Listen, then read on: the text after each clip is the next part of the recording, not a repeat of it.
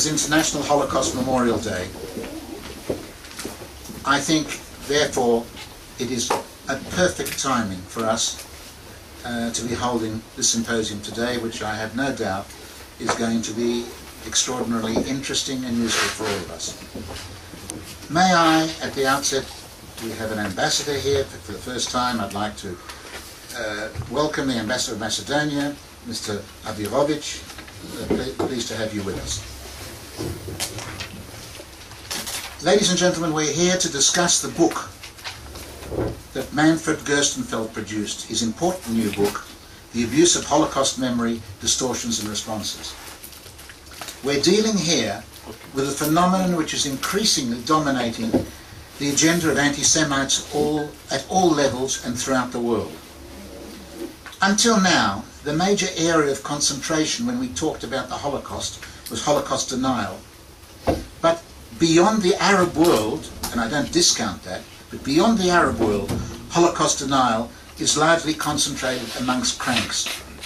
Sophisticated anti-Semites, in fact, steer clear of outright denial, realizing that in the long term it actually discredits them. But when we come to Holocaust trivialization, and in particular Holocaust inversion, these have become the major new instruments of the anti-Semites to demonize us. Trivialization, if you looked at the papers today, and I'm not going to dwell on it because we uh, covered by our speakers, you have to look at the articles both in the Jerusalem Post and in Haaretz uh, about what's taking place in the Baltic republics, where the attempt is being made to trivialize the Holocaust in a very sophisticated manner by simply bracketing it together with the crimes of, of Stalinism. I'm not going to go into that, our speakers will go into that, but that is an example. The real area that is endangering all Jews is the area that I consider to be the greatest libel against the Jewish people ever promoted, and that is Holocaust inversion. I need not remind you that this really has its genesis in the United Nations resolution promoted by the Soviets, Zionism as racism. But the attempt to bracket Israeli behavior with that of the Nazis has now become the centerpiece of the campaign against us, ranging from the Arab world through to the enlightened postmodernist secular Europe. That the descendants of the Holocaust are behaving like the Nazis is an idea which is being promoted everywhere, as I say, is the greatest defamation that we've ever encountered. It reached its climax with the Goldstone report which accused the IDF of systematically killing innocent Palestinians. And this subsequently led to the Nazi linkage which now dominates the anti-Israeli debate in relation to this. We are therefore indebted to our indefatigable chairman, Dr. Manfred Gerstenfeld, for having produced this extraordinarily important book at this time, which I believe everyone who is involved in any kind of Jewish or Israel advocacy should read and study. We will hear from Dr. Gerstenfeld presently, but to open the symposium I'm delighted to introduce Dr. Robert Rozett, who is the director of the library at the Yad Vashem in Jerusalem and has, quote, ministerial responsibility for the visual center in Yad Vashem, in the Yad Vashem complex. His book, Approaching the Holocaust, Text and Context, was published in 2005.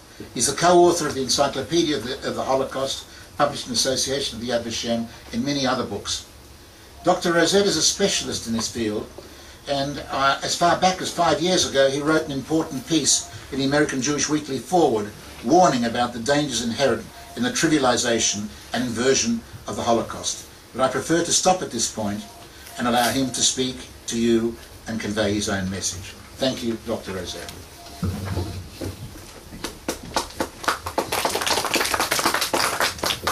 Thank you for your kind introduction, and I'd like to thank Manfred for inviting me this morning to speak to you. Of course, Manfred's book puts the subject of the abuse of the Holocaust in a very clear and coherent fashion. And I have to admit that after I read it, I began thinking maybe I, can stop giving lectures on the subject and just tell people to read his book. Unfortunately, people don't read as much as they used to, so I don't think I'm going to be unemployed as a speaker in the near future. And of course, no book's perfect, and I can say that as a director of a library with 120,000 volumes in it. And so you can argue with Manfred here and there, perhaps, on something he said in terms of an interpretation or an emphasis, but you can't argue with the broad sweep that he set up in front of all of us in the book and all the various permutations of Holocaust abuse that exist in the world today. I think he's really covered everything. And I agree, it's a book that everybody needs to read. I also think that the book is a very sad testament of our times, that here we are in 2010 and this is what we're talking about, that people are abusing the Holocaust and all the time with new ways of doing it, or at least new, cha- new things that have old roots. It's not so easy to think about how to speak about the abuse of the Holocaust in light of Manfred's book, because I said he puts everything on the table, as it were, and I don't want to repeat really the things that he's written about. What he caused me to do is to think a little bit about where it's coming from. And I think that we can talk about people who manipulate the Holocaust purpose as one group of people, and that's a very large group of people, and again, a very diverse group of people that manipulate the Holocaust. I think we can talk about some people who abuse the Holocaust, at least in part out of ignorance. And then the third group are those that are receptive to the ideas. They're the willing listeners, as it were. And they're the ones who find the arguments or the things that are put forth by those who abuse the Holocaust as reasonable and don't argue with it. And I'd like to say a little bit about that group right now. I'd like to talk about them a little bit. Again, as Manfred says in the book, and many others have said as well, the Holocaust has really emerged as the, the prominent model of man's ability to do evil. And I'm sure that we can argue that that's what it is. To a large extent, I think that we, those of us who deal in Holocaust education, commemoration, research, we have a certain responsibility for a situation that exists, and that's that the Holocaust has spread very far and wide around this globe of ours, but in many places it's spread very superficially. The spreading began very early. I mean, after the war, information about the Holocaust, we all think that in the first year survivors didn't speak about the Holocaust, but there's a lot been written lately that shows us that that's not true. Some 200 memoirs by survivors were published in the first years after the Holocaust, in the first few years after the Holocaust, in the first five years. And of course, many memoirs since. I think our library now holds about 9,500 memoirs by survivors, so that's an ongoing proposition. There are some books, movies, and other things, again, that did a great service in spreading a certain understanding of the Holocaust. Of course, the most famous of them all is Anna Frank's diary which first was published in Dutch in 1947 and has come out in 65 languages, including in Basque and Khmer and Nepalese and Armenian and you know a host of other languages that you might not think about when you're thinking about the Holocaust. Even unauthorized versions of that diary began coming out in the 1980s in China. The film that was released in 1959 also had its role in spreading information about the Holocaust. And many people talk about that film as being some sort of denuded of Jewish, of its Jewishness. They talk about the film and the play as having very little Jewish content in them.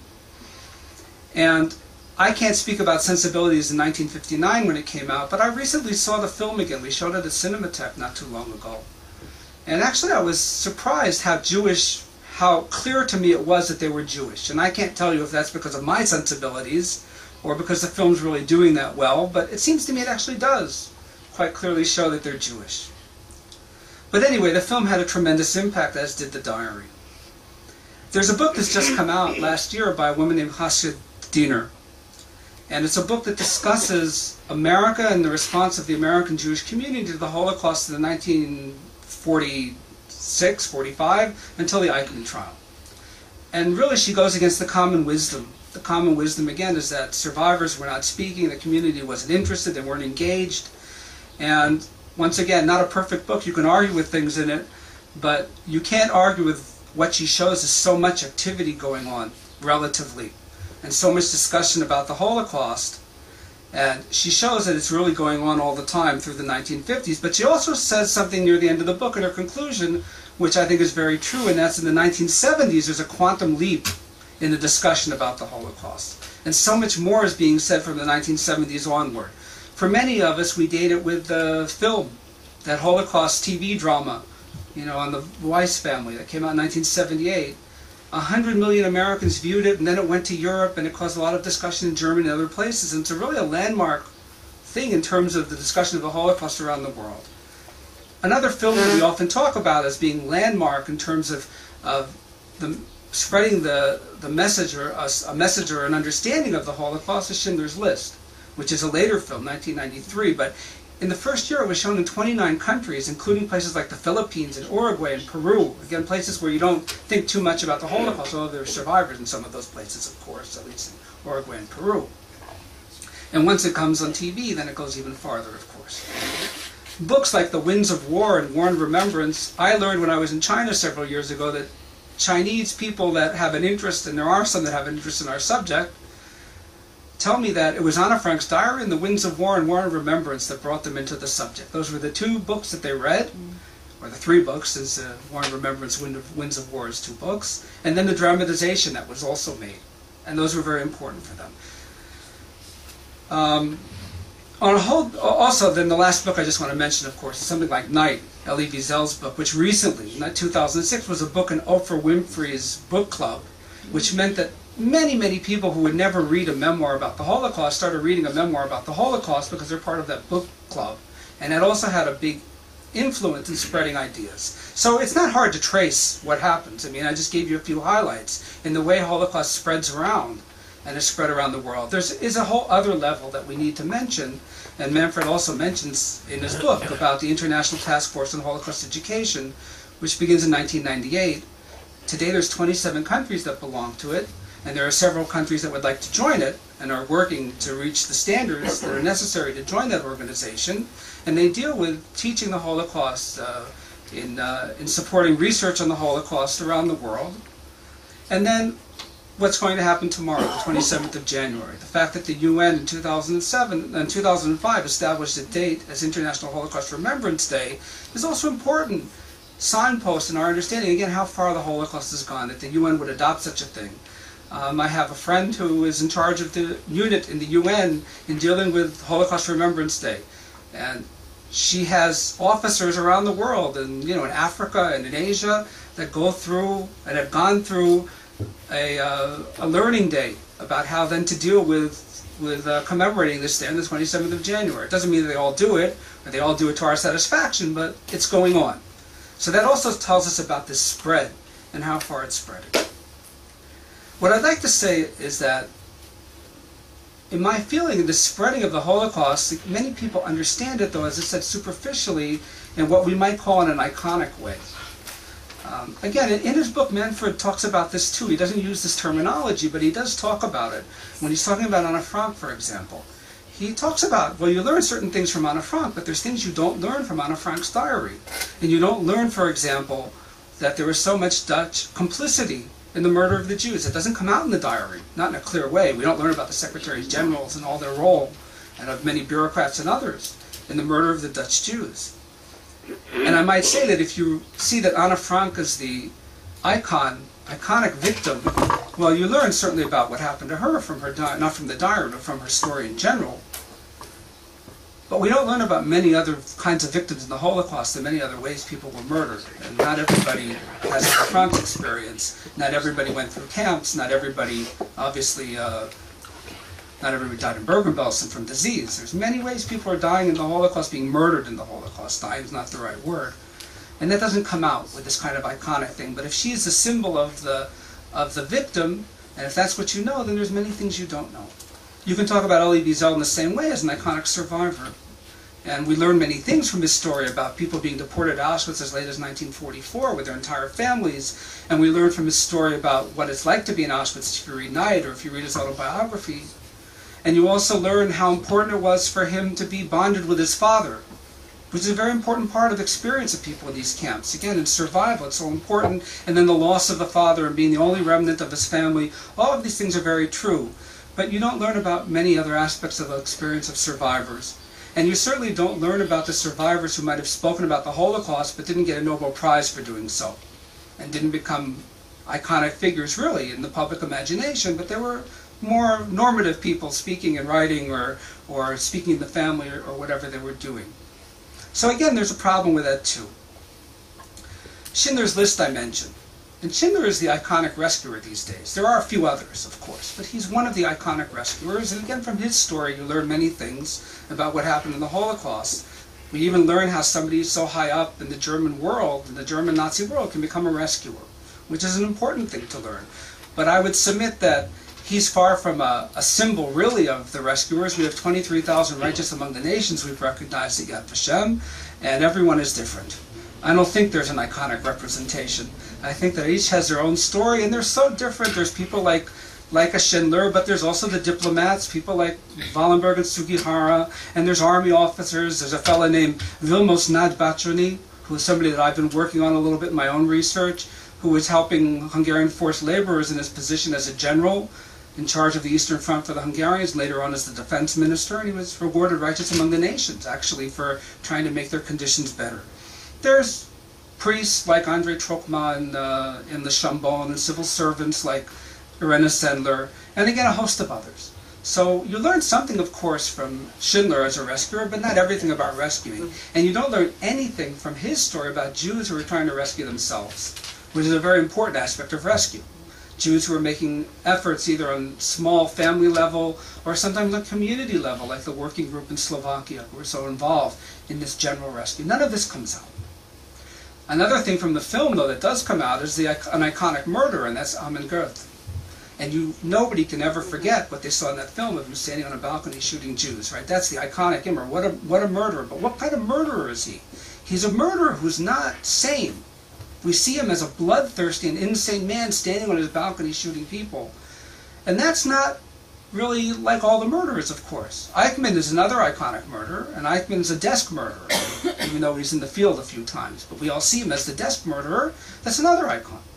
And then that's so similar than the so different. I'm sorry than the murderers. That's like those that are talked about in Chris Browning's important book, Ordinary Men, where he talks about many reasons in addition to Nazism and anti-Semitism why men became murderers. I think that you can argue with him about the emphasis he gives to anti-Semitism and Nazism, if he gives enough or not enough, but he does us an important service by showing that in addition there are other factors like peer pressure and conformity that can take a group of men who are essentially older men who weren't really from a Nazi, strong Nazi stronghold of Nazism, they're from Hamburg, become murderers, and they eventually killed 38,000 Jews and deported almost 50,000 more.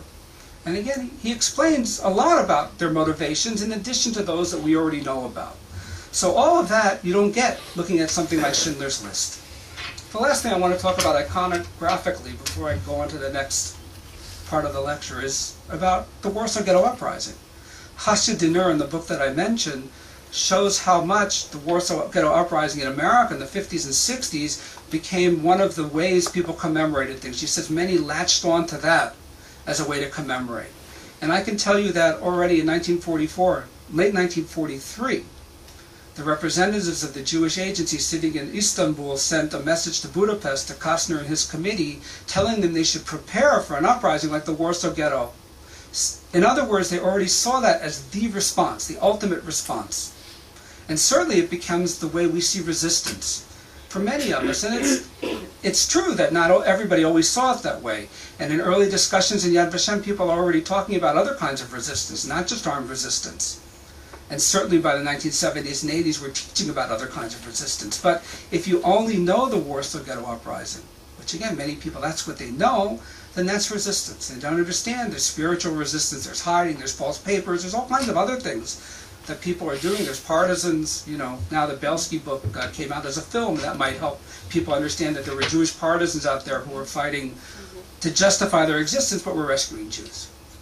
That's really what they were doing. So all of that doesn't come out with the icons. Now, I think in much of the world people don't even know all these icons I'm talking about. Maybe they only know one or two of them. I, mean, I can't say that they know them all. I don't know what they know. But certainly this two-dimensional understanding that they give us is very problematic. And I think that it allows people to accept, again, these things that they hear. If you have a simplistic understanding of the Holocaust, then how will you understand when somebody says something to you that doesn't make sense? How can you evaluate? You just don't have the tools to do it. The equations that we see out there with the Holocaust, again, Manfred writes about them, about abortion and other things that are equated to the Holocaust. You need a better understanding of the subject in order to understand why those equations don't work. Because superficially, they might make sense to you. I mean, on a superficial level, if you don't think too deeply, you don't know too much, then they might make sense to you. Another thing I think that the superficiality lends to is again something else that Manfred talks about that's Holocaust fatigue. People say we've heard enough about the Holocaust. We don't want to hear any more. Why do they say it? Well, again, some reasons because they're manipulating. They want to say make a statement like that because they have an agenda. But in some places, it's because they're hearing the same things every year. People aren't going into any depth, and they're tired. How many times can you talk about the same thing? Young people will say, "I already heard that." And so that's one of the things I think that leads to Holocaust fatigue, or certainly contributes to it.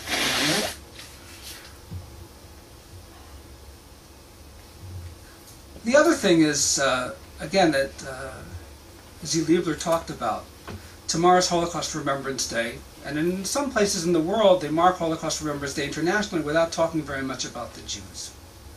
And I think that also the superficial understanding allows them to do it as well. Part of it, maybe even related to Holocaust fatigue, we've already talked about this. And then part of it, if you don't know the Holocaust more about it, then you don't understand why it's important to talk about it.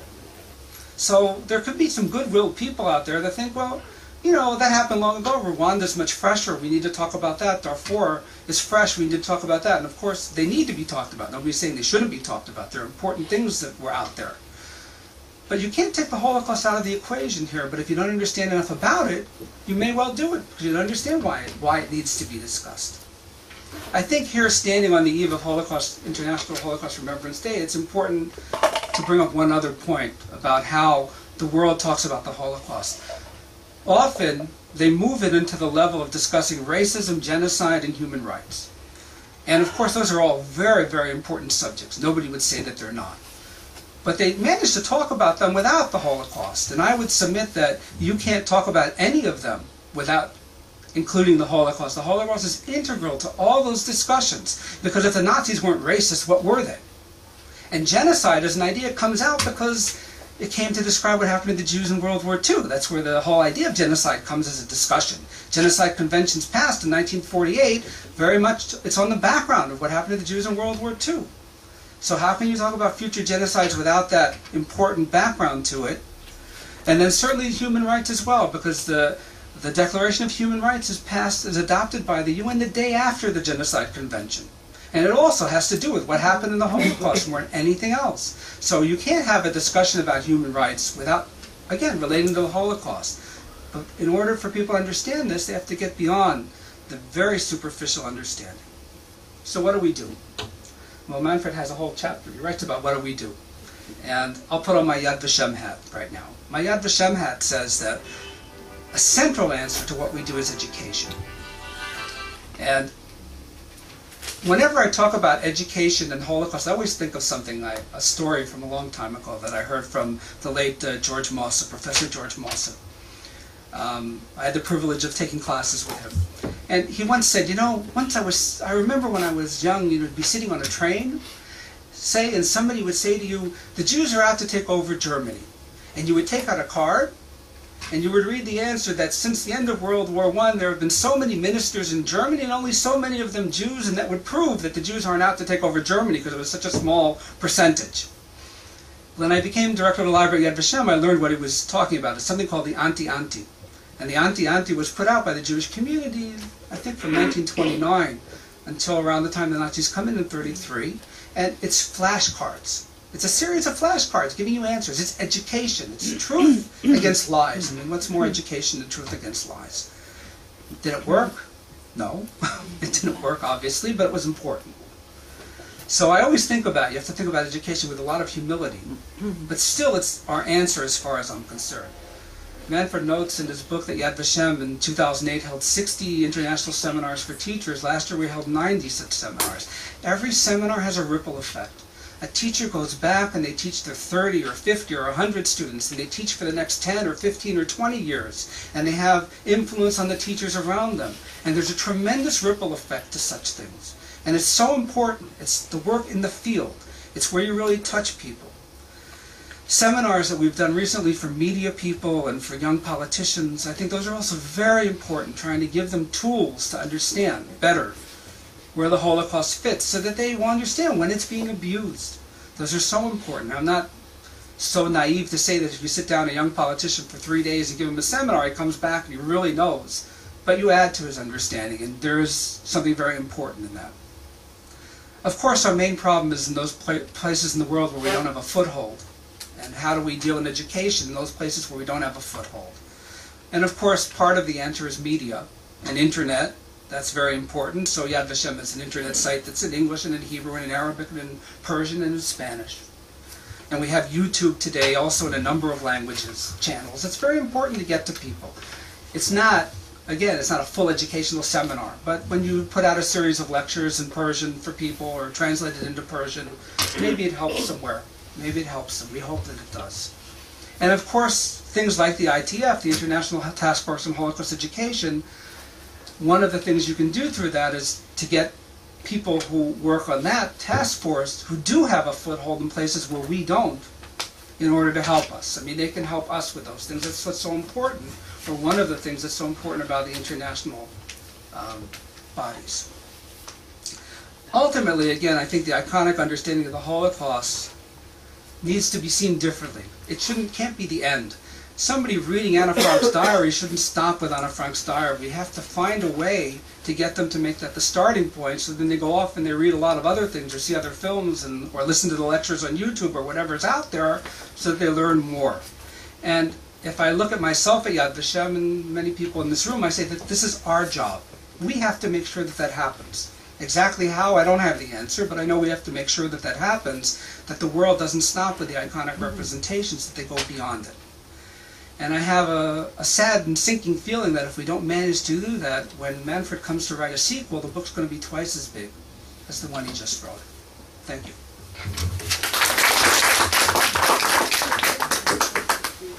Thank you very much. You know, when we talk about Holocaust commemoration and we exult in the fact that it's now become an international commemoration, I must confess but I have mixed feelings because sometimes I have the feeling that too many of these people, are, if they are mourning Jews, they're mourning dead Jews and not concerned about living Jews.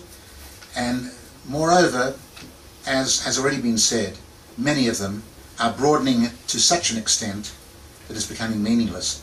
And before I call on Dr. Gerstenfeld, I just want to say that the ultimate extension of this is what I said at the beginning. The ultimate extension of this is the inversion of the Holocaust, utilizing the Holocaust as a vehicle to besmirch us. And to me, this is the most damning indictment. This is the centerpiece, I feel, of this book that Dr. Gerstenfeld is indefatigable because this man continues producing and he produces good stuff. But this, to my mind, is one of the most important timely books that he's produced and it's my great pleasure to call on you, Manfred.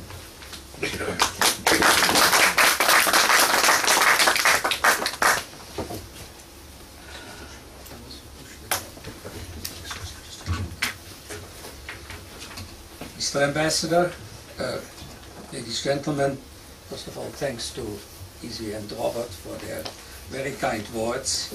I also want to express my thanks to the Anti-Defamation League which is represented here by its Israel Office Director, Phyllis Gerably, who has been extremely helpful in getting this book uh, out, which otherwise might not even have been here today and remained a promise. I asked myself, uh, okay, something which is not in the book, what's my own experience with the uh, abuse of Holocaust memory? Well, my first experience with the abuse of Holocaust memory took place in Amsterdam after the Second World War. The Dutch public was told by its leaders and the media that during the occupation from 1940 to 1945 the Dutch population had shown great resistance to the Germans. Well, I, at the time, didn't realize that collective memory and history were being massively manipulated.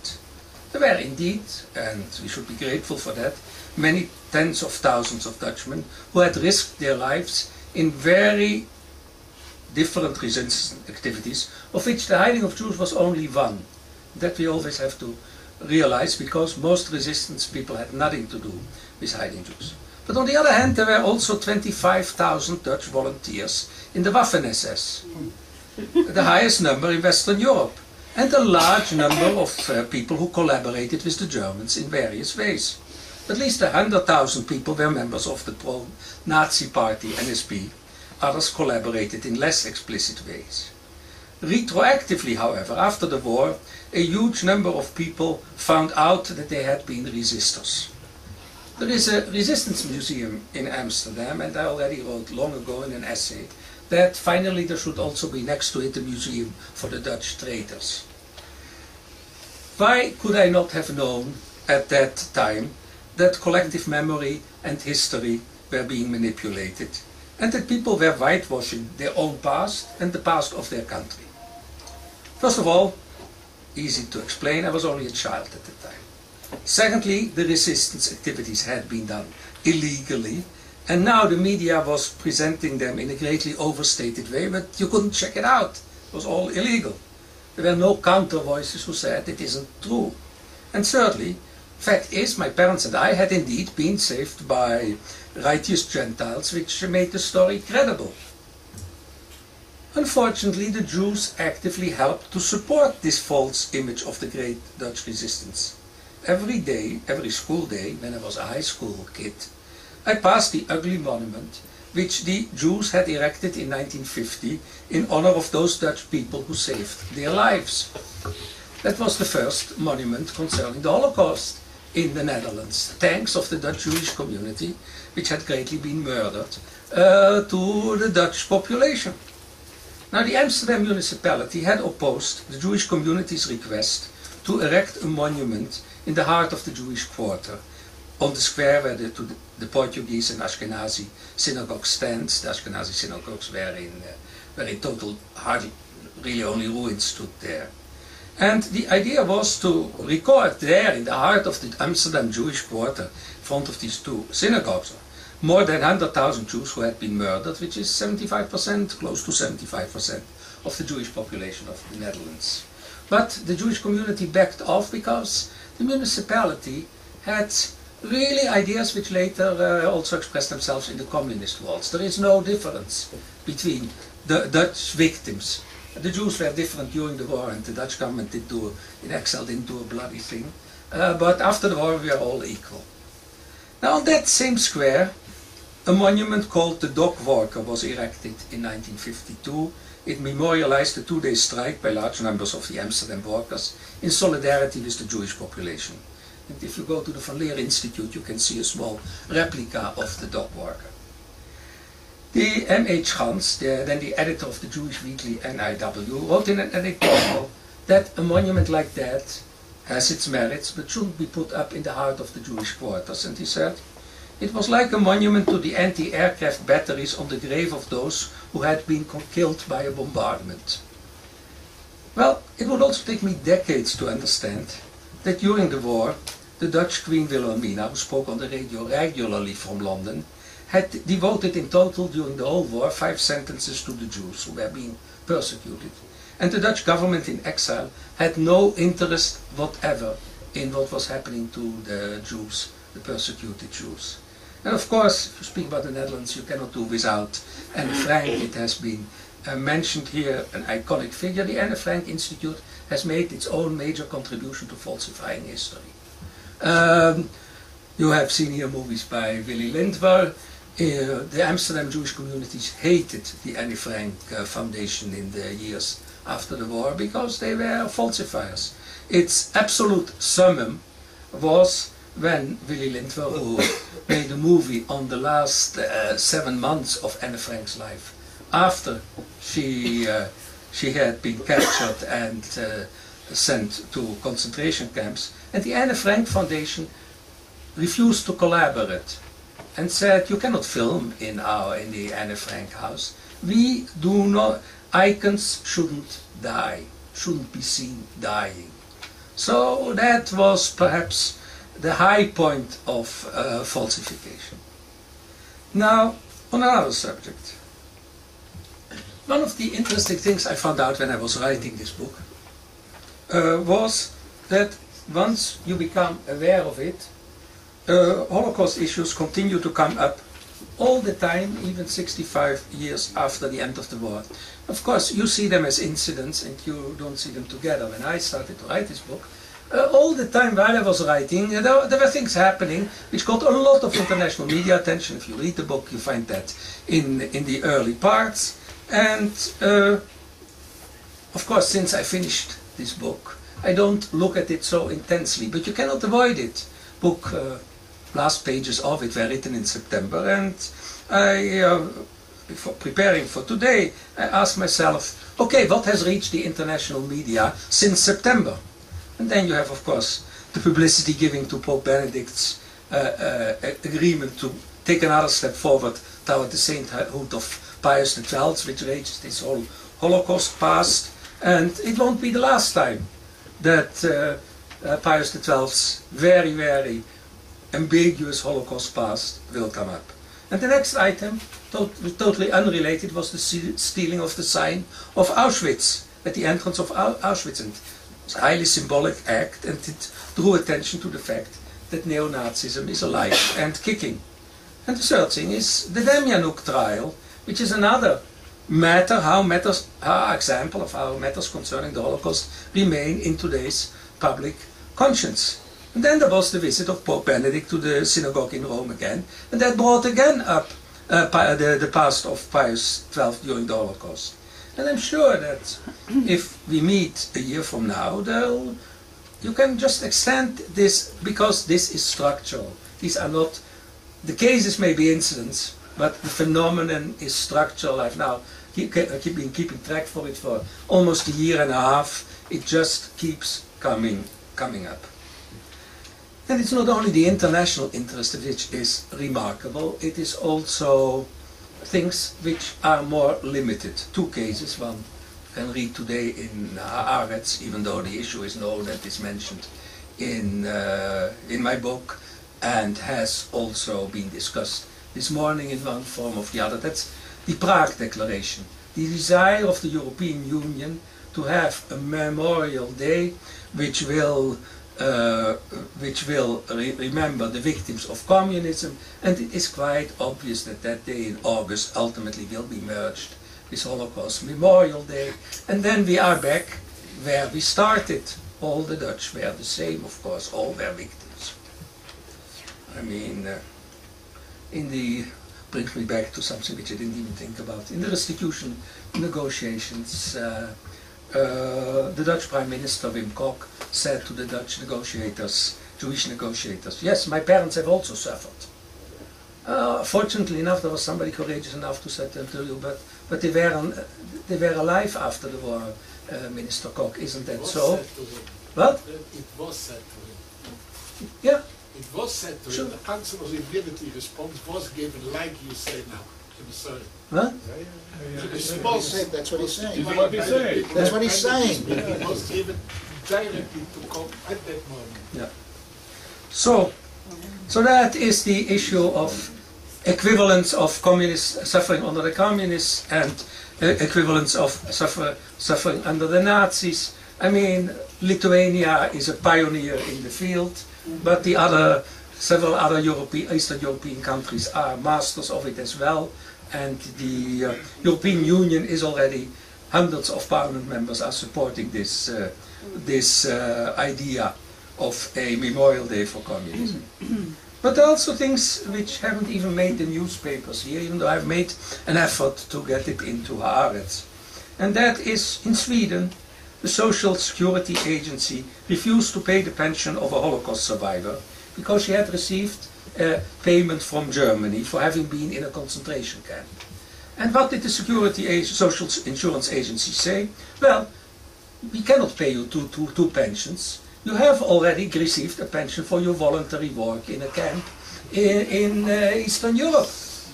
Well, this, the lowest German, uh, the lowest Swedish court, the Gothenburg Administrative Court of Appeal said that is quite a reasonable position. It's only last week that uh, the decision was overturned by Sweden's uh, Supreme Administrative Court. Well, that doesn't make the international press, but it certainly uh, made, the, made the Swedish press. Now, to a third subject, Holocaust studies. Of course, Holocaust studies have uh, created a tremendous interest in, uh, in finding out what really happened. And it is a very good tool to, with all its shortcomings, to counter abuse of memory and histories. And Holocaust scholars I talk to ask themselves, is it just a blip? Will it stay?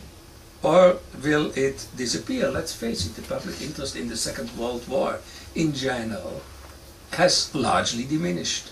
So will Holocaust go the same way? And the idea to think that indeed there's a community today of 250 Holocaust scholars, uh, that it will disappear is supported by the idea what's the strongest element if you deal with Holocaust memory, that are survivor testimonies. And as these people die, and in fact, survivor testimonies today means child survivors' testimonies. There are very, very few people who were adults uh, at the end of the war who are still able to.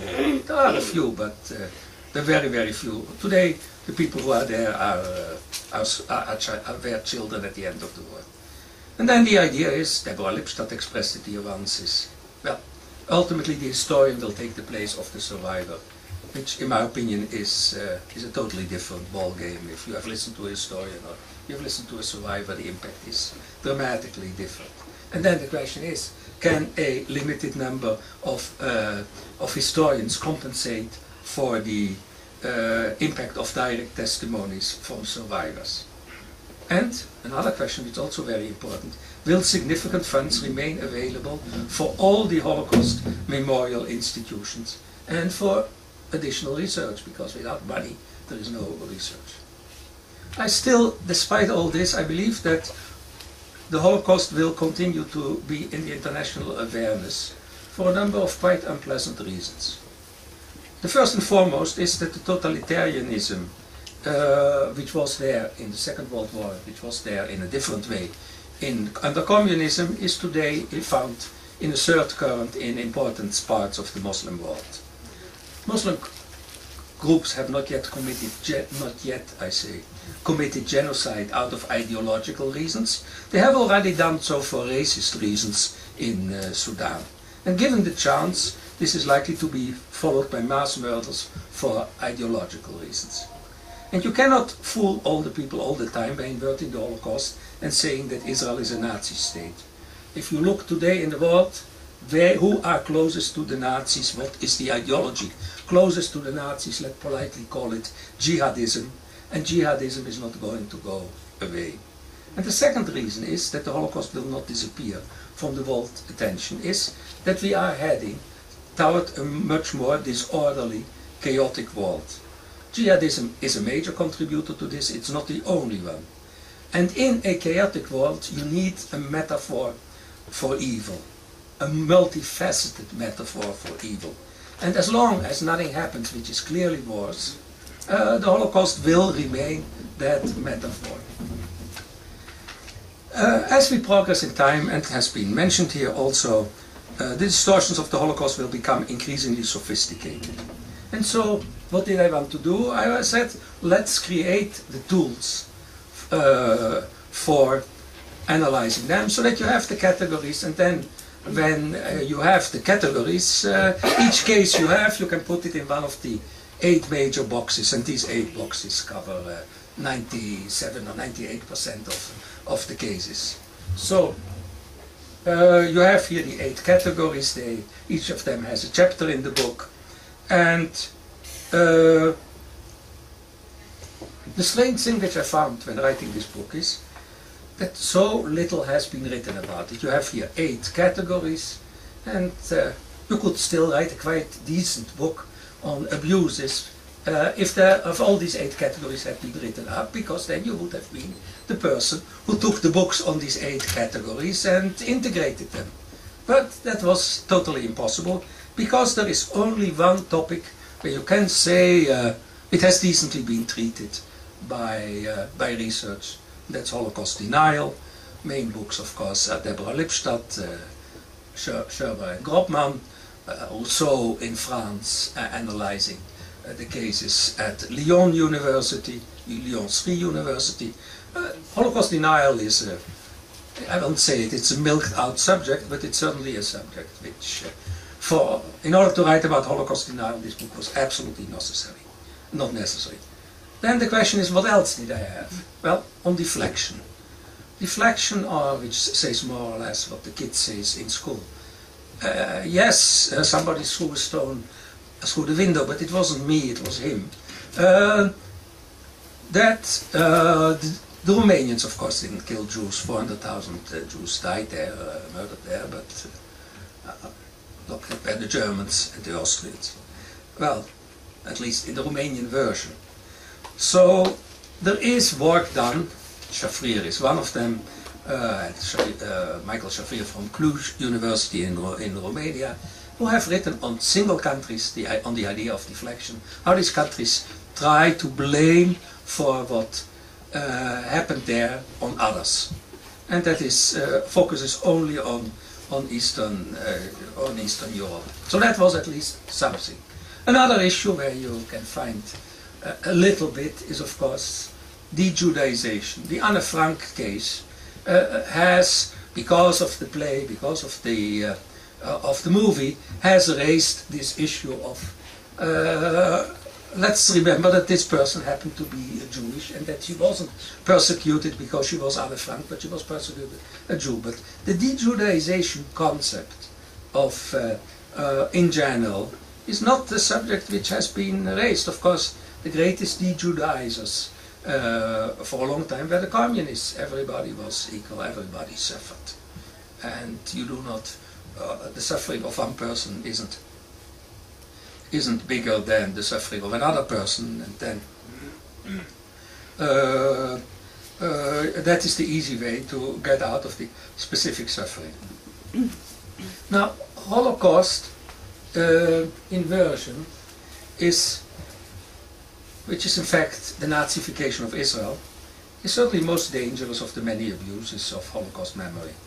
There is no literature of any significance on the subject. If you look even at, um, if you look at the term Holocaust inversion, I think there is one person besides myself who uses it. Uh, there is nothing ever written, even though it is, as Isi rightly said, it's the most dangerous phenomenon of today. And it's another phenomenon, sign of how ineffective the Israeli government and authorities are in, in understanding the software of the total war. They're much better in the military war than in understanding something about the software war.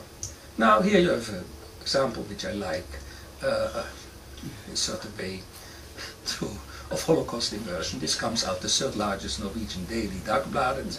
It's Ehud Olmert, uh, shown as a concentration camp commander and the guy who made this, uh, this is a mainstream tabloid, still a mainstream journal in Norway, and uh, the guy who made this, uh, who made this cartoon, a guy called Finn Graff, a left wing, left winger born in Germany. He uh, he got a year later. He got the highest award from of, which exists in Norway for his graphic work, the St. Olaf Order, and was given to him by the King of Norway. Uh, trivialization is another uh, example of which there is no overview. I mean, we all know about the abortion holocaust and the animal holocaust has been brought to our plates for a long time, uh, but nobody has understood what, how do all these fit, things fit, uh, together. Is there a difference between the smoking holocaust and the abortion holocaust and the animal Holocaust is there an ideology, a common ideology behind it. And it's a subject which has never, never been treated. And the same goes for another category to which I devote a, a chapter. And if you destroy a Holocaust monument or you besmirch it, if you demolish a building, you don't put a plaque on it, uh, which a building which had a role in the Holocaust. And if you try to turn Holocaust Memorial Day into General Genocide Day, all this is the same phenomena. It is Holocaust memory obliteration. Saying same also is if you say uh, the Jews talk too much about the Holocaust. You want to push this out of society, and it has never been looked at in its uh, totality. Now, I was last night at a forum of French speakers in, in Tel Aviv, and uh, a well-known journalist said there, yeah, it's all very simple. why we have all this, it's because of the guilt of the Europeans. Because these are all simple answers. And they are true, but they are only a very small part of the truth. So I started to look into what are the motivations, what makes people move. And well, the most obvious thing is anti-Semitism and anti-Israelism. If you are if you are anti-Jewish, uh, you hit where the Jews, where it hits hardest, and it doesn't hit very hard if you say that God didn't appear at Sinai. But if you start talking about the Holocaust uh, and that it didn't exist, or uh, uh, that it helps Jews to to get money or so, that uh, that hurts. So you hit the people. If you are an anti-Semite, you want to hit, uh, hurt Jews, you do that. Uh, indeed, it's a very valid point to get rid of the, gold, uh, the guilt of your ancestors, of your country. Uh, uh, these, these manipulations are interesting. If you, deflection is beautiful. The great deflectors in history were the Austrians. The Austrians were the first victims of the uh, of the uh, of, of Nazism. That's why half of the population of Vienna stood there to applaud Hitler. Uh, so that is a second reason. But there are many other reasons which people do not re realize. Some people distort the Holocaust in order to get publicity. Uh, it's like I always say, like global warming. A climatologist can never get any article in the media unless he promises that we will all burn or we will all freeze. He says it's the most reasonable thing that temperature will moderately increase as a result of uh, uh, of industrial activity, uh, that you don't go very far with that in, in the media.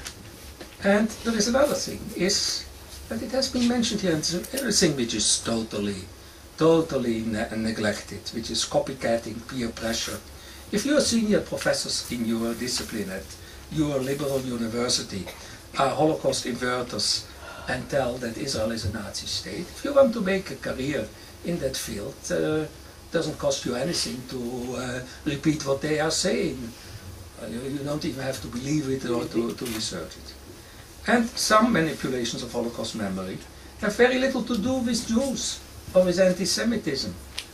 It's often the case with what I call Holocaust equivalents. If you call the American presidents Bush or Obama Hitler or a Nazi, uh, you don't do that for anything which has to do anything with Jews.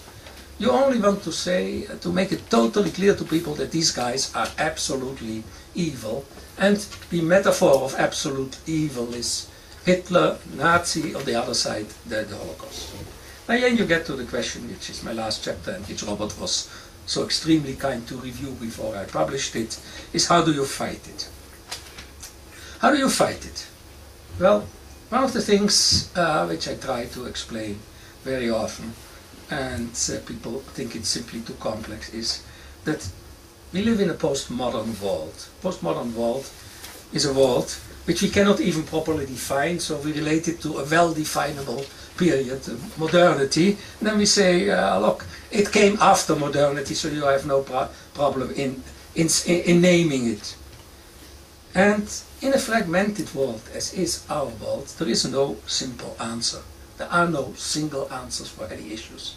So, if you want to know how are we going to fight it, education is part of the answer, but it's not the whole answer. You have to participate in public discourse, you have to continue research, you have to promote Holocaust education, you have to encourage visits to museums, monuments, you have to legislate against Holocaust denial, and uh, there are many other things. Uh, now, so far about the book itself and the Holocaust. Obviously, it would be very, very, very strange if the eight instruments of falsification, which I have developed in the book, could only be used for this very, very specific topic.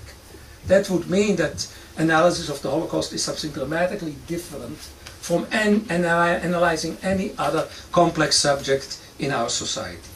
So you have here these eight tools and These are aid tools for understanding complex phenomena in our society. Let me just take one uh, example which is close to our heart. Let's take the Palestinian-Israeli conflict and the behavior of the Arab world in general. And let's see what we can do with these tools. And I only threw out a paragraph or two just to, to show you that this is a virgin field in which some of you may wish to go further because there is enough place for a book there. Uh, we all know Holocaust denial in the Arab world that is a bestseller, a great idea. But that's not the only denial in the Arab world. They also deny, uh, Arafat at top, that the Jews have any link to Jerusalem or that to this geographic part in the world. So once you deny one thing and you are a crook in one field, you are a crook also in other fields. And uh, just one example. Uh, what equivalence? We've seen this equivalence, Bush, Hitler. Bush is Hitler, uh, Obama is a Nazi. Uh, this equivalence we find in things which relate to the Arab-Israeli uh, conflict. Take the Goldstone report. The equivalence between Hamas and Israel as equal actors. Yeah, there's, there's nothing different than the technique which uh, the guys who shout at the tea parties, Obama is, is a Nazi. And obliteration. This week we have heard that the Hebrew letters on the grave of the prophet Yechezkel in Iraq were removed, which is you obliterate the Jewish past. Not very, very different from uh, uh, burning down a Holocaust memorial on the island of Rhodes, which was destroyed uh, very rapidly uh, after it was uh, put, put up. Now, claiming that the Palestinians have no responsibility for their fate is a typical case of deflection and whitewashing. Uh, they participated in a war whose aim was the mass murder of the Jews and now suddenly they are victims. They have learned something from the Austrians. So it's, it's structurally you can do tremendous things with these tools, which I haven't started and I also don't intend uh, because my, my interests go in other directions. But I just want to show that you can really do a lot with it. Finally, if the Vatican and the Middle Eastern bishops now declare that Christians are being chased out of the Middle East because of the Israeli-Palestinian conflict and the, uh, the, the, war in Iraq, you have a clear uh, case of deflection. The Muslim, uh, Muslim ideology, of course, has nothing to do with the burning of uh, churches in Malaysia. That would be a totally wrong thing. It's all because of what happens here and in Gaza and so on. So you can do with this endless things. And I believe that if you want to use the instruments of this book, uh, you can do things which have really great analytical potential. Thank you for your attention. Thank you, Manfred before I ask for questions, um, I just think that the note that you ended up, the, the note that you ended with is extremely important. This Holocaust inversion and all the other facets covered in that book are, to my mind, one of the greatest threats to the Jewish people today. It is a qualitative change in the anti-Semitic campaign against us, and the real thing that we should all absorb is Nobody, but nobody is going to fight this other than the Jewish people themselves. And I think that's extraordinarily important. We have no allies. We can bring in allies, but the initiative to fight this must come from us, must come from the Israeli government, and must come from the leaders of the Jewish people. And if we don't stand up on this issue, we stand historically condemned. Now I'm going to take uh, questions. Yes? I'm going to take them in groups of three. One, two, three. Um, subject is so uh, painful and so important that it really must be approached with a lot of trepidation. So I'm going to be very careful what I say. Uh, I, I, just want to make a couple of points. The question to Manfred would be on the, on the conscious or subconscious or unconscious motivations. Because the way uh, you put it in your lecture about what happened in Holland after the war was that there was uh, manipulation of historical memory. Now that would imply that either the Dutch government or the Dutch media would have consciously manipulated the memory of their collaboration, the Dutch collaboration with the Nazis. Now my question is, would it not be possible that there was an unconscious or subconscious uh, defense here working in operation because of the because the fact that the Dutch cooperation with the Nazis was too painful for the Dutch to, to be aware of and to remember. I can give you another example in France. You know, in France there was of course a lot of collaboration with the Nazis. At the same time there was also a great deal of resistance. Now there was a very important film because uh, in the first lecture by Dr. Rozett we had heard about uh, films of the Holocaust and so on, which I'm going to speak to uh, very briefly also.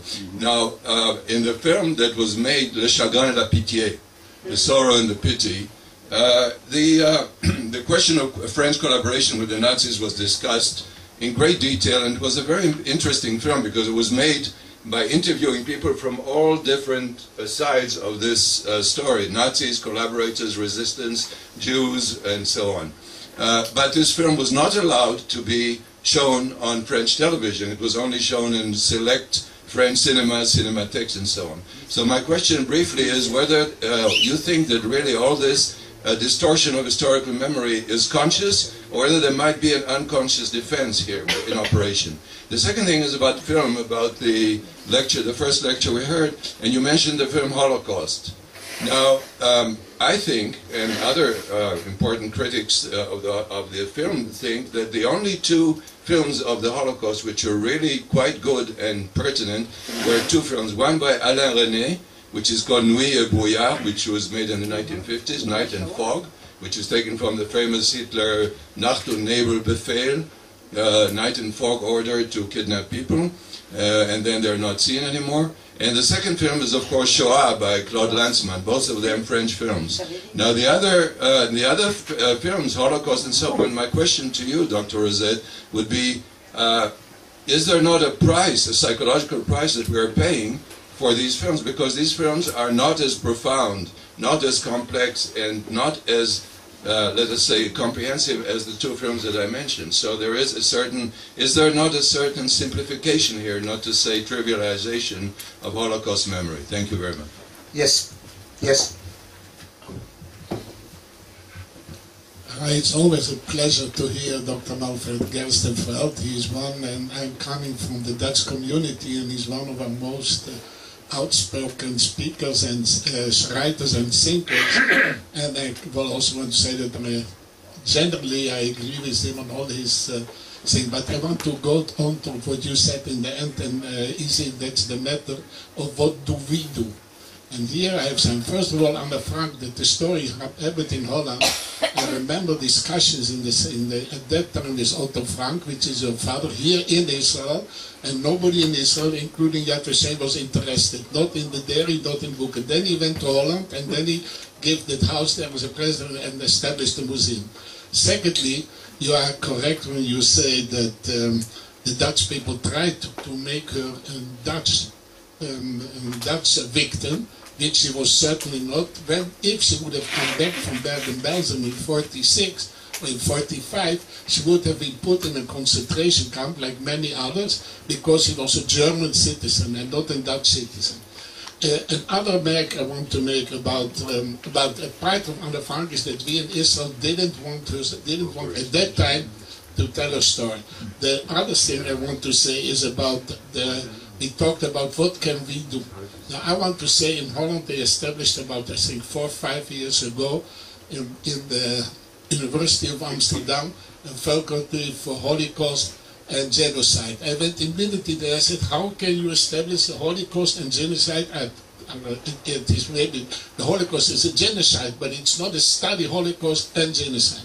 And then the man who proposed to them the they told me, what do you want? You have Professor Bauer, and he is promoting this idea. We took his advice, he's a consultant from us, and we took from him this idea of genocide and thing, and it enabled the, the Dutch people all the time to talk about genocide and not only about the Holocaust. Uh, that's the the, uh, the the second thing I would like to say. The third thing I make, I know that um, Manfred is writing also the book about the negotiations about uh, the restitution in Holland in the 2000. And I want to tell you, we had here this meeting with uh, Prime Minister Kok here in the King David Hotel in Jerusalem, and we immediately answered him on this point. Said he came from a poor family, from a farmer's family, from six or seven children, but we immediately answered him, and there was one of the our, our participant was an orphan. He said, I've been an orphan, my parents are murdered, and it made a deep impression on him. So that is just a small correction on the, the I think, on the Thank you. excellent work. Thank you. Thank you. Um, I have a very short question. Um, I forget the category, Manfred, where the Holocaust is not just a Jewish issue, but a much wider issue. Equalization. equalization. So um, the name Holocaust is um, a Greek word, and we have another word, Shoah. I hope this is not too trivial a uh, question, but why did you choose Holocaust rather than a Jewish word like Shoah? Okay, gentlemen, who would like to start? Okay. Of course, there's only one question that was directed to me directly, and that's the question about the films. And that was the point I was trying to make, of course, that these films uh, are seen by many, many people, and they only tell a certain part of the story, and they are ultimately rather simplistic in the way they, they tell things, or else they're just focused on one aspect of the Holocaust and not on other aspects. Um, films like Night and Fog, Night and Fog is a very important film. I think it mentions the word Jew once in the film, if I'm not mistaken but it was a very important early film, and certainly Lanzmann Shoah Yeah.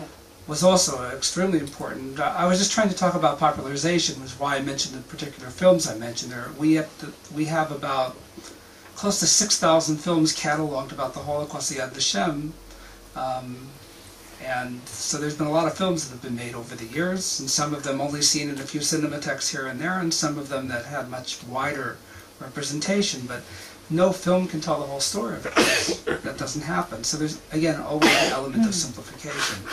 Um, again, the other question, I, if I may, it was addressed to Manfred, but about the question of Holocaust and genocide that was brought up uh, inter alia. Um, once again, we go back that genocide as a definition includes two parts to it, really. One part, which we would probably, or we should call Holocaust, and the other part uh, is a different part. The first part of genocide talks about trying to destroy an entire people physically, and that's what the Holocaust was. The other part of genocide talks about destroying a group so it can no longer exist as a group. That means selective mass murder, it means destroying culture and other things. And they're two different but related phenomena. Putting Holocaust and genocide together is not, I don't think it's a wrong thing. It's just how you do it and how you discuss it. It's not, they belong together because Holocaust is a kind of genocide, really.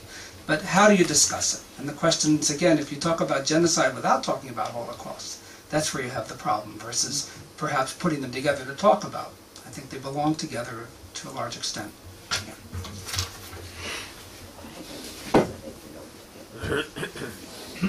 Uh,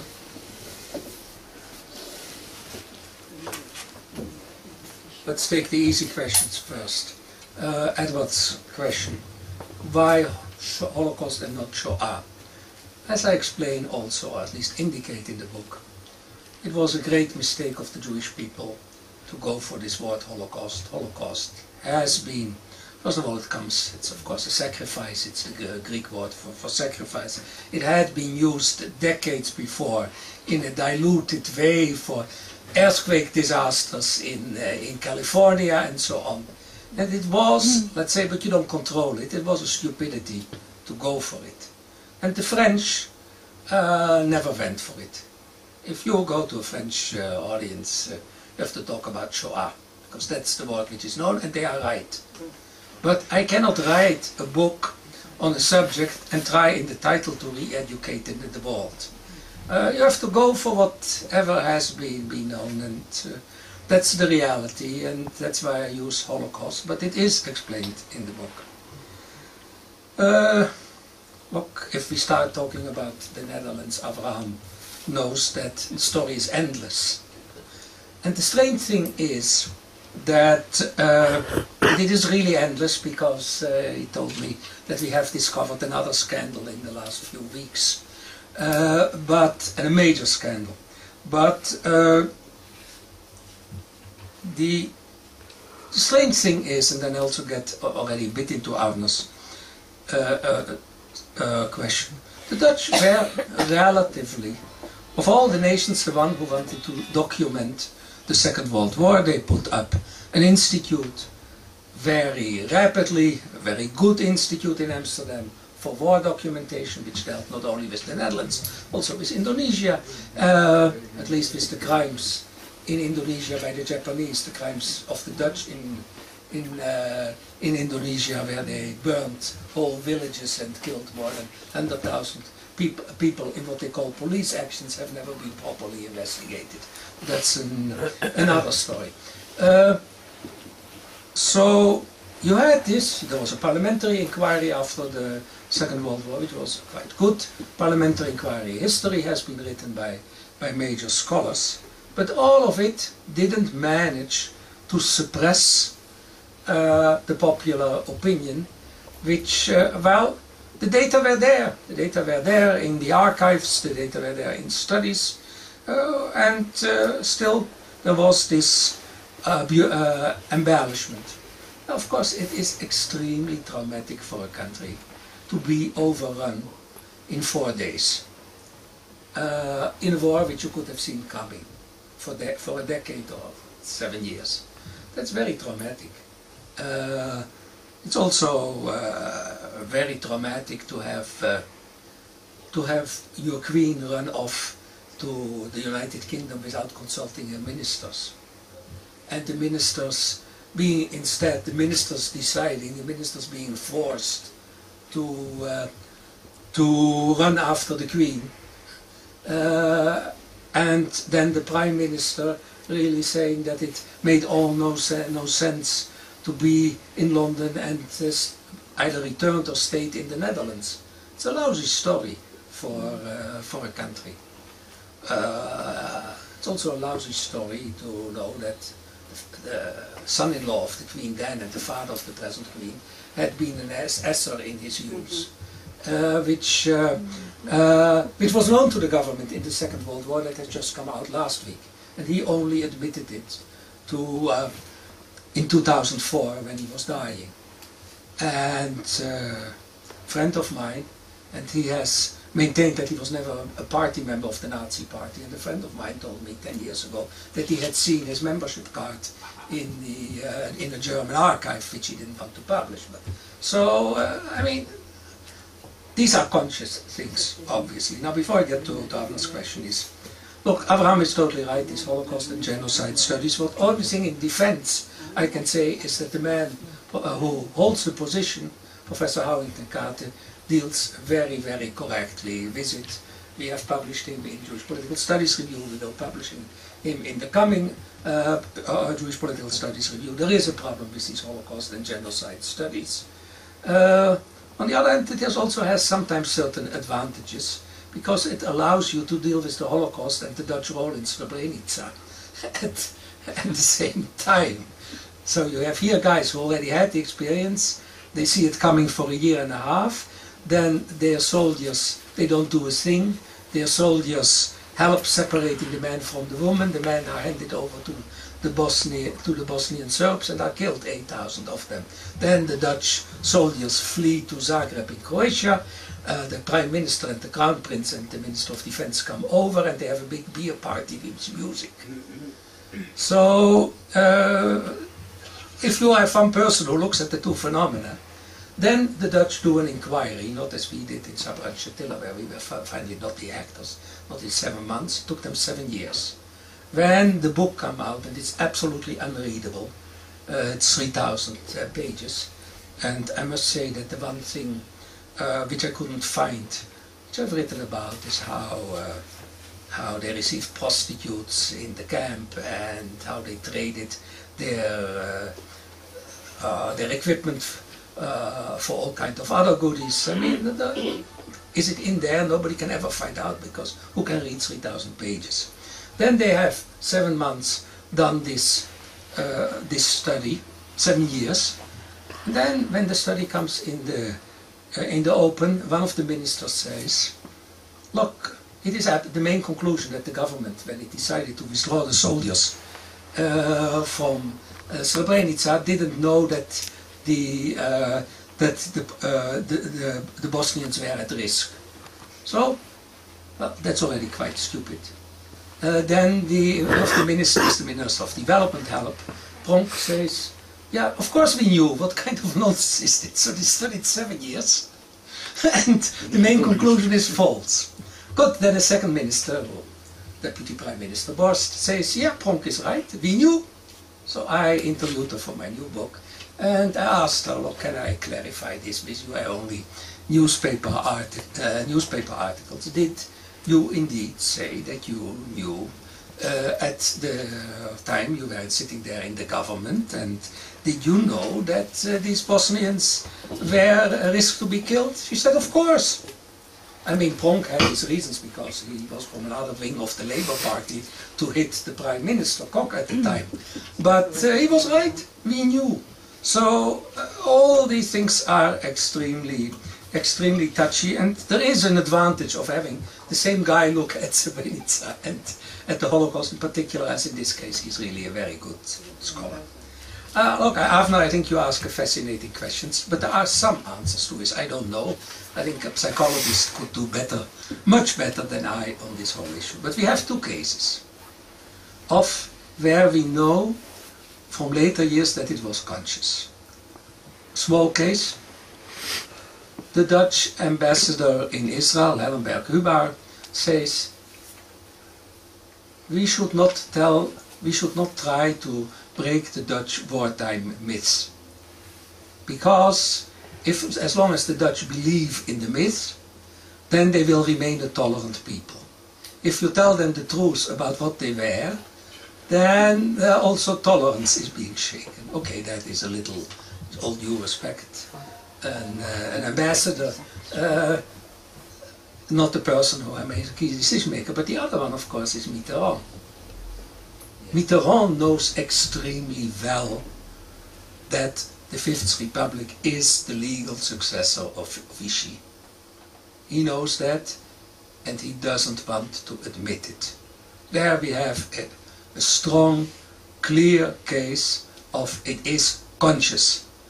Chirac comes after him, and he doesn't apologize, but he tells, yes, the Fifth Republic is the successor of, uh, of Vichy, and I'm ashamed about it. It's afterwards repeated uh, at memorial functions by both uh, Prime Minister Jospin, the socialist, and Villepin, when he is Prime Minister on behalf of the right-wing UMP party.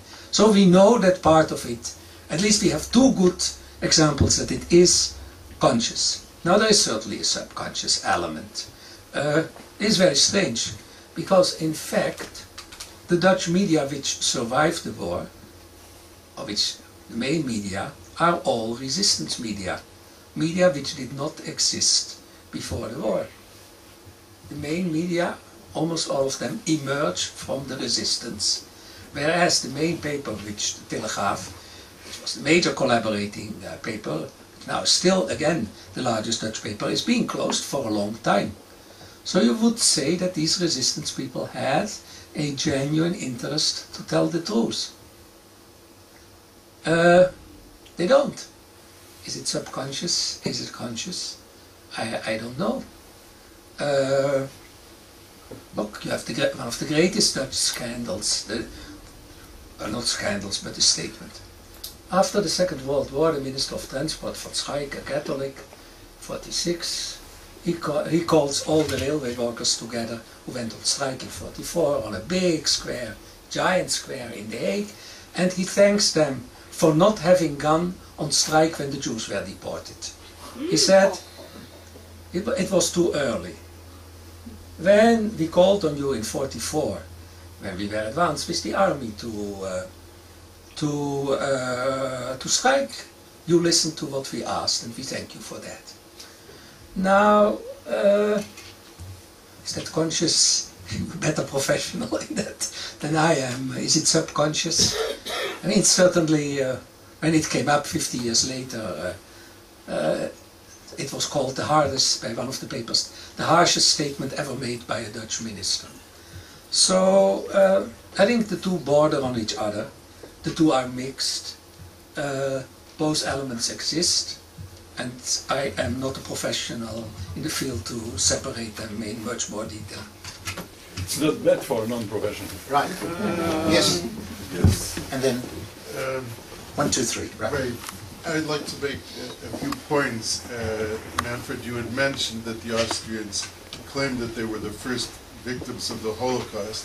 Actually, they had received that status as a free gift from the Allies, who I think in 1942 declared them the first, the, the first victims of the Holocaust. Yes, that was one of the basis of the Atlantic Charter.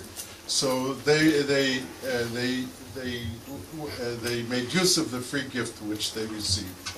Now, with Holocaust denial, it has roots. Uh, there, were, there were writers in the first generation uh, in France, but one of the most important people was the Nazi propagandist hired by Nasser, and that was Johannes von Leer, who was in charge of the uh, Nasser's propaganda, and he had an influence in the Arab world. And he had been associated with uh, Goebbels and later with Himmler. So there's a direct continuity, and von Leers corresponded with the Holocaust deniers throughout the 1960s and encouraged them to go in this direction. In other words, I would like to say that our adversaries were very sophisticated and very professional and knew about propaganda in the most professional way. And it's indirectly related, but after the 1967 war, the German Dem- Democratic Republic uh, opened up a propaganda assault against Israel, accusing Israel of being the aggressor. Of course, this was the support of the Soviets. But Simon Wiesenthal in 1967 listed about 15 of the newspaper editors and uh, directors of uh, radio in DDR, and they were all card, card-carrying members of the Nazi Party. So the uh, Zionism is racism, and the whole sophisticated uh, uh, approach has its roots, and, and, and, and we have underestimated the adversary, and we have to do more to understand where they got these first myths from. What, what's coming around has been around for quite a while. Now, Menashe Amir spoke about Holocaust denial in Iran, and he said one of the reasons that the Iranians want to ta- attack Judaism is that it is the core of Christianity, and they want to attack Christianity. Now, we also have to talk or think about the threat that Judaism represents to people who have tho- those interests. Judaism is a very strong religion, and it can be the source or, uh, of resistance. And uh, uh, um, there's a certain amount of strength and independence about it, and, and there's a reason why it may be uh, a target. The uh, Soviet dissident uh, Mendelevich, when he came, said when he was in the concentration camps when the, uh, of the Soviet Union, he said when the Ukrainians would come in, they would ask, where's the Zionist? Because the Zionist were the ones he, he claimed who actually broke the Soviet Union. So there is something about the independence of mind and freedom that go and, and freedom of thought that goes with Judaism, which makes it a threat to people who would like to uh, remove freedoms from other people. Thank you. Zvi?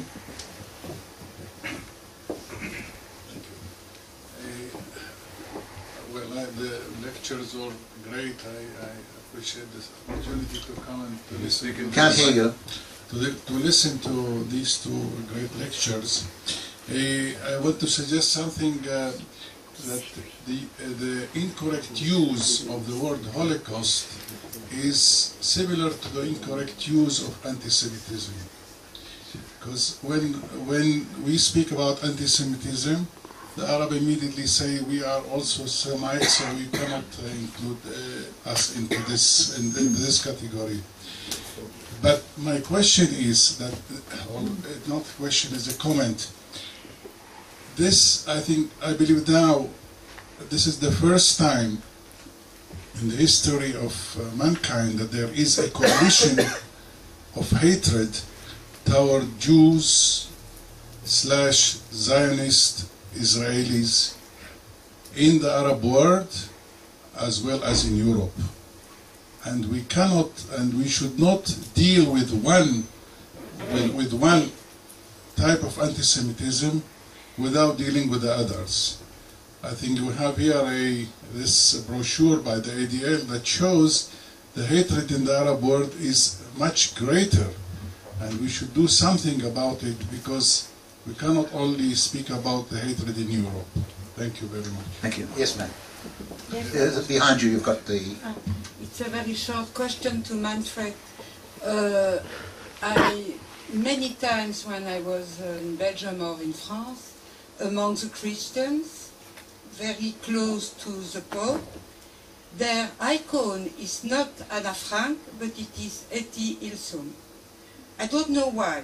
Why? That, that's my question. And my remark is that uh, we were last year in Sachsenhausen, which is a concentration camp which is, we can say, included in Berlin. And my impression was terrible, because you only have monuments for the Soviet uh, army, soldiers, nothing from the Jew. And we had a very close friend who was 11 years in Sachsenhausen and had uh, medical experiments which were done on him. So that is a denial of, of uh, the destruction of the Jew, of German Jew, in the, in the heart of Berlin, in the camp. Thank you.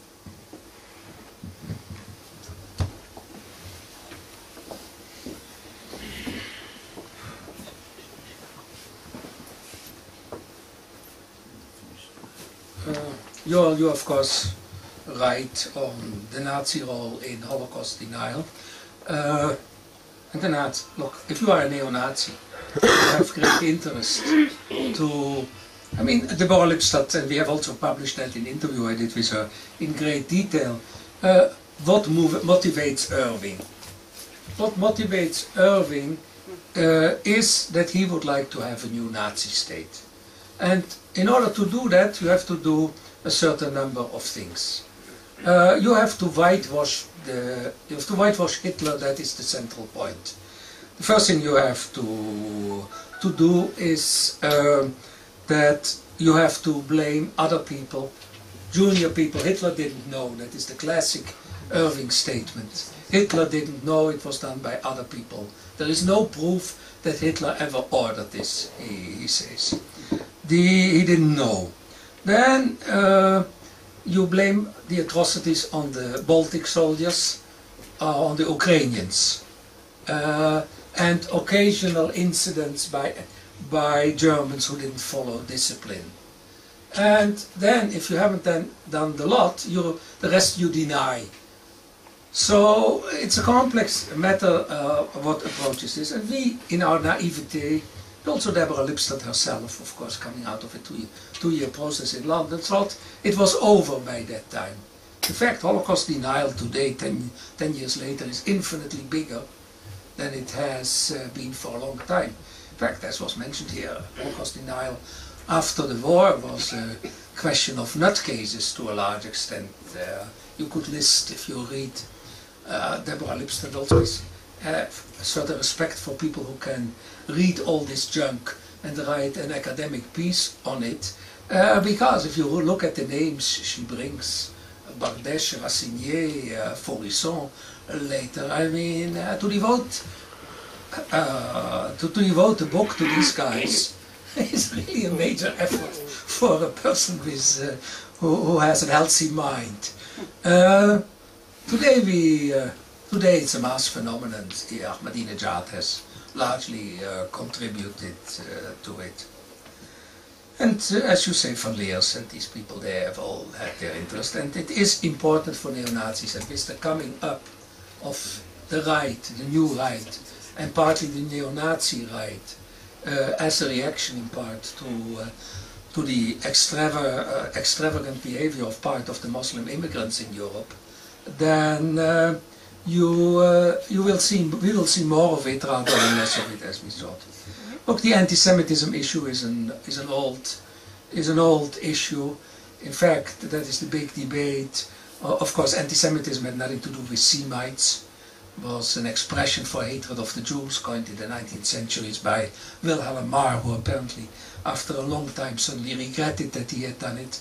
And that's the big debate. Do you put a dash between anti-Semitism, anti-Semitism, or don't you put a dash between? If you take out the dash, the the theory is then the Arabs can no longer claim that it has something to do being against Semites. These are all, uh, all, uh, you cannot do anything about it. If they had called it Judeophobia from the beginning, we would have been much better off. But you cannot, it's like Shoah and Holocaust, you cannot now take a term which is so deeply anchored in Western language and say we're going to find a better term for it. That is only counterproductive. True what you uh, say about Sachsenhausen, also no Jews who were in Sachsenhausen, but um, it started immediately after the war. Uh, I heard once at the, at the president's, uh, was a thing from Yad Vashem, and the, at the president, uh, Rabbi Lau spoke, and he uh, said, well, after the war in the camp I was, there a monument went up for those who had been died, and then somebody stood up that the Jews are not on the monument, and he was beaten up by the others who said Jews are not uh, are not a nation, mm. and that's and the other side of it when the Pope uh, Jean Paul II comes to Auschwitz, he says six million Poles have died yeah. in the war. Uh, which translates into 3 million Jews and uh, 3 million other Poles. And, uh, well, Minerbi, who has this sensitivity, says the figure of 6 million, of course, was not, was not uh, incidental in this whole thing. But the issue is they were never, it's by the way true in France as well, they were never Frenchmen when they lived, but when they died, they died as Frenchmen. That is the kind of uh, intellectual exercises which uh, French intellectuals are particularly good in.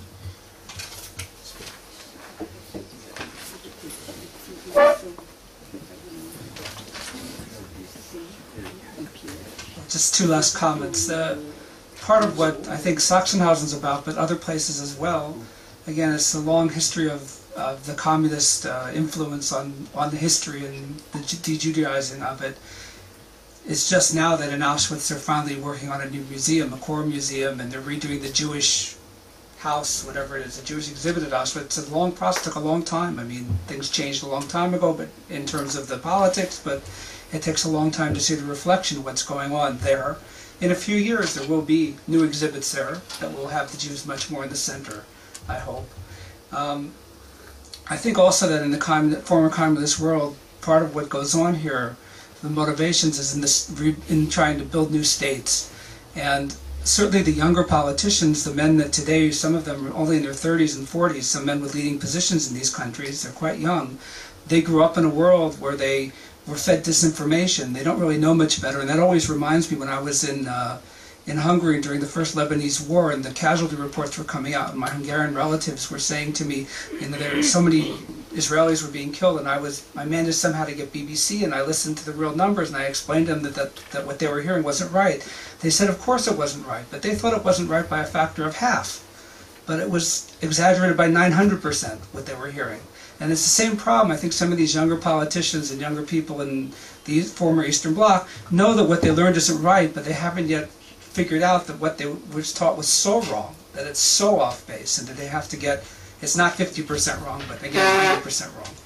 The other thing I wanted to mention is that in terms of um, motivations, again, there's a very interesting thing that's going on in the Institute for Historical Review out in California, and there's a fellow named Mark Weber that's very central to what they do, and he not too long ago started telling his peers that they have to stop denying the Holocaust because it was doing a disservice to their campaign against Israel. And I think in that we see a couple of things. First of all, we see clearly why Holocaust denial is anti-Semitism from what he said. But even more, the manipulative part. I mean, it's something that's being thought. It's not just something that they do because whatever, they're full of hatred. They're thinking about what they're doing, and they're doing it again, in a very conscious way. And if they lessen the denial coming out of the Institute for Historical Review in the end, it'll be because they have a greater goal and they decided that it's not serving the goal so well. Thank you very much, ladies and gentlemen. I'd like to invite you to join me in thanking our speakers very, very much.